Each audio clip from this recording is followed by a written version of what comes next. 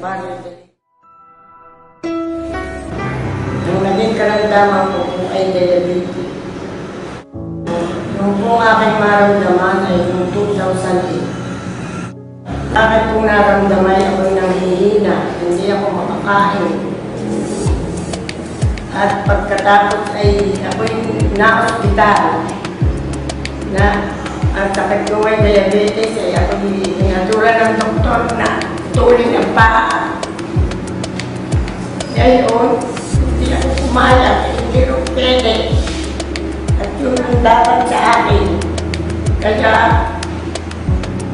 ako ay pinagamot ng aking mga anak sa tulong ng Diyos nang ako'y makalabas na yan, ako'y binili ng aking anak na si Chona ng gamot ng 24-7 na galing East Serca.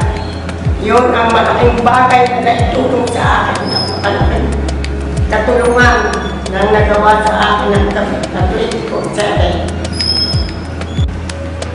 Tatlong beses sa maghapon, bali siyang nakapsula araw-araw.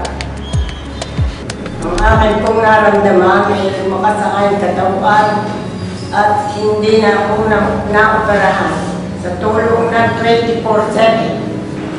Ako po'y unang-una ako'y nagpapasalamat sa Panginoon Diyos at ako'y gumaling, lalo-lalo na sa M Global at ako'y pinagkalubang yun ang nagpalakas sa akin.